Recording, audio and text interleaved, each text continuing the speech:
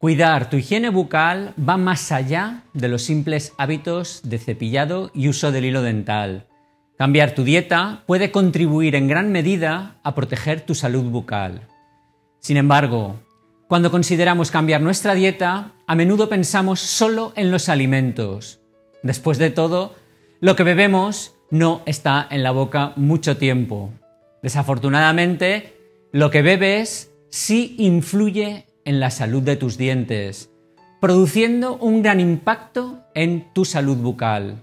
Conocer las peores bebidas para tus dientes puede ayudarte a dejarlas o a cuidar tus dientes después de tomarlas.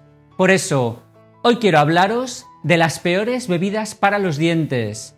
Pero quédate hasta el final porque también te diré cuál es la peor bebida de todas para los dientes. Y si me regalas un like y comentas, se repara el esmalte de mis dientes.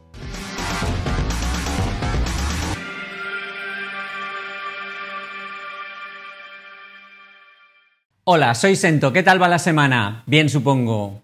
Antes de que sigas adelante debes saber que este vídeo solo tiene fines informativos y educativos, que no sustituye en ningún caso a la consulta de un médico y que no puedo ofrecerte asesoramiento personal sobre cualquier problema médico que padezcas.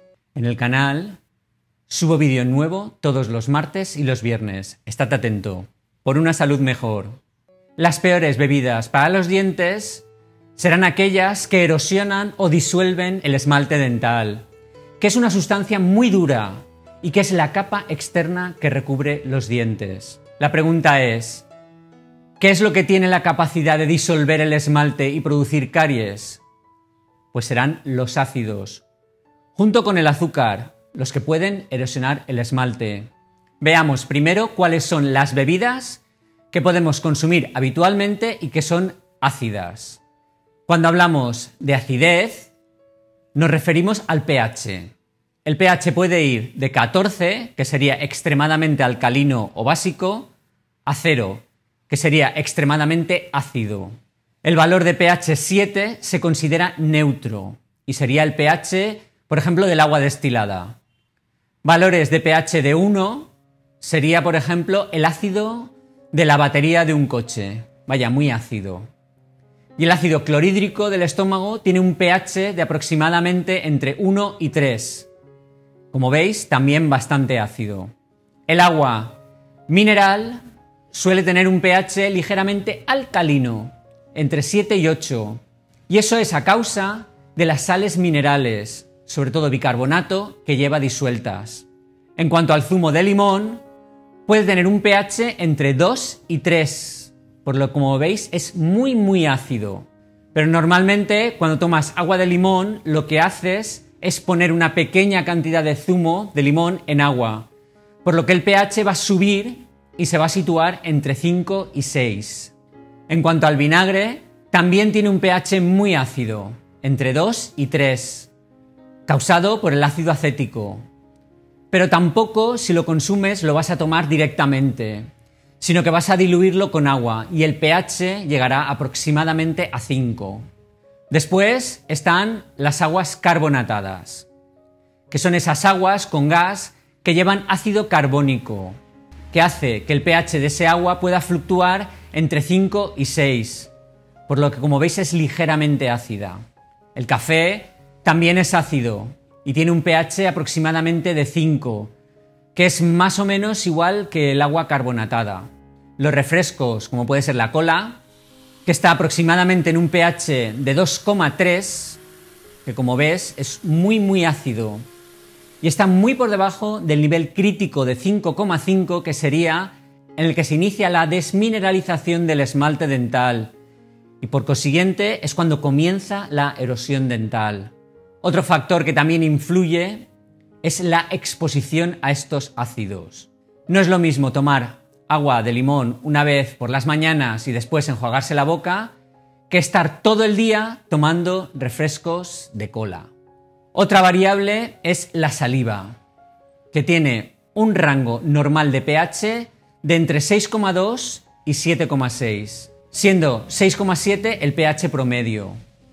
En la boca el pH se mantiene casi siempre cerca de la neutralidad por la saliva. La saliva contribuye al mantenimiento del pH por dos mecanismos. Primero, el propio flujo de la saliva elimina los carbohidratos que podrían ser metabolizados por las bacterias y elimina además los ácidos producidos por esas mismas bacterias. Y este es otro de los factores que influyen en el pH de la boca, que son las bacterias que allí viven, ya que esas bacterias de la boca fermentan los azúcares de los alimentos o bebidas y cambian de ese modo el pH de tu boca, pudiendo mantenerlo muy ácido, por lo que las bacterias están en la raíz del problema de la disolución o erosión del esmalte dental. Como veis, al final los hidratos de carbono, y me estoy refiriendo al azúcar, es realmente otra de las cosas que hace que tu boca tenga un ambiente muy ácido. No directamente por culpa del azúcar, pero sí indirectamente a causa de las bacterias que producen esos metabolitos ácidos. Y ahora, aunque muchos ya lo habréis adivinado, es cuando voy a desvelaros la peor bebida que podéis consumir para los dientes, ya que los erosionará fuertemente. Evidentemente, ha de ser algo que contenga mucho ácido y que además contenga bastante azúcar. Y con esas características está algo que parece muy sano, pero que para nuestros dientes pues realmente no lo es, y que son los zumos, ya que son básicamente azúcar con ácido que atacará el esmalte de los dientes. Los zumos son algo habitual que se les da a los niños pequeños, que son un grupo especialmente susceptible al desgaste de los dientes y a la aparición de caries dental. Las bebidas que además podemos incluir dentro de las peores también son las bebidas deportivas, que son básicamente azúcar ácida, las bebidas energéticas y de entre todas las bebidas que podemos tomar estarían los refrescos, que además de la gran cantidad de azúcar que llevan, también tienen ácido fosfórico, que disuelve el esmalte dental. Pese a todo, si sientes la necesidad de tomar refrescos, aléjate de los refrescos con color oscuro, ya que deterioran el aspecto de los dientes decolorándolos, además de dañar el esmalte como hacen todos los refrescos. Si te preguntas, ¿cuál es el peor refresco para tus dientes? La respuesta es todos.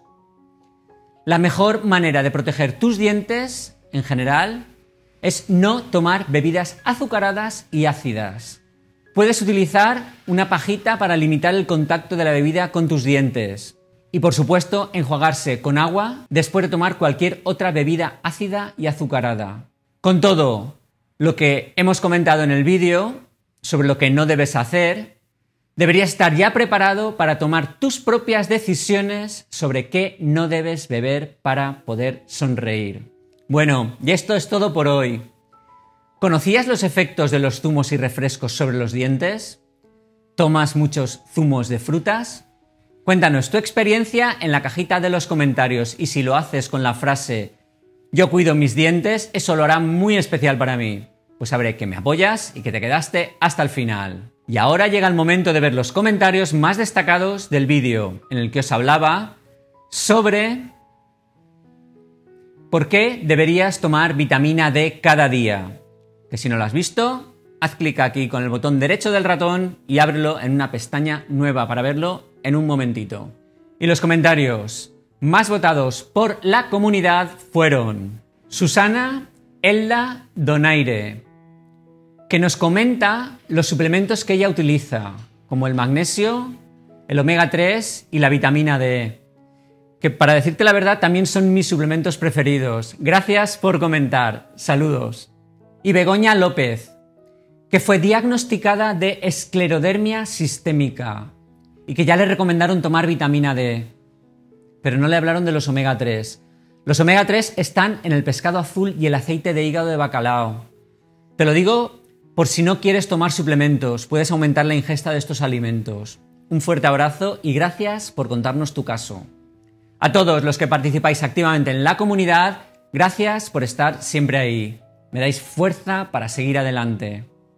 Vamos con ese dedito hacia arriba a los comentarios propios. Que al menos tu comentario tenga un like Demuestra que te quieres a ti mismo. únete a la campaña. No más comentarios sin ningún me gusta. Ten en cuenta que siempre debes consultar con tu médico para obtener diagnóstico y tratamiento sobre cualquier condición, ya que él conocerá mejor que nadie tu dolencia. Además recuerda que este vídeo solo tiene fines informativos y educativos y que no puedo ofrecerte asesoramiento personal sobre cualquier problema médico que padezcas. Por lo que te pido por favor que ciñas tus comentarios a cómo mantener una buena salud. Por último, regálale un like al vídeo que es gratis y comenta pues ayuda a que el vídeo llegue a más gente. Y aquí puedes suscribirte al canal, sin coste alguno. Y aquí puedes ver un vídeo sobre la forma de eliminar la cándida para siempre.